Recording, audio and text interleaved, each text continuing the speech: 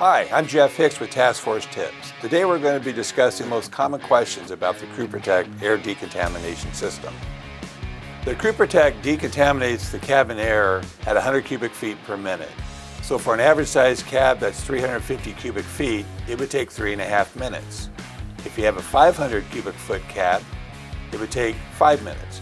And you can determine your cubic feet of your apparatus by simply multiplying the length times the width by the height. You can install a Crew Protect on an in-service vehicle. Installation only requires two wires and six screws. So you can easily install it virtually anywhere in your cab. When you're installing, you do need to consider a minimum clearance for the proper functionality of the unit.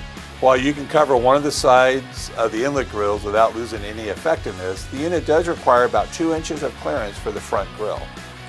The Crew Protect is designed to automatically turn off if there's an obstruction that is covering the inlet or outlet vents, such as a bunker jacket. Once the bunker jacket is removed, the system will turn back on and operate normally. The design is so it won't overheat.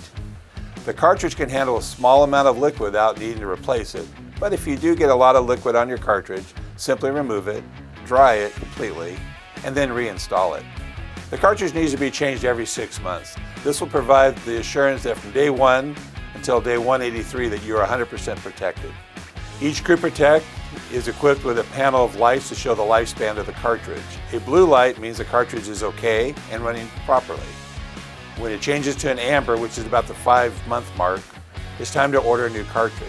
And when the light does turn red, the Crew Protect will shut down until the cartridge is replaced.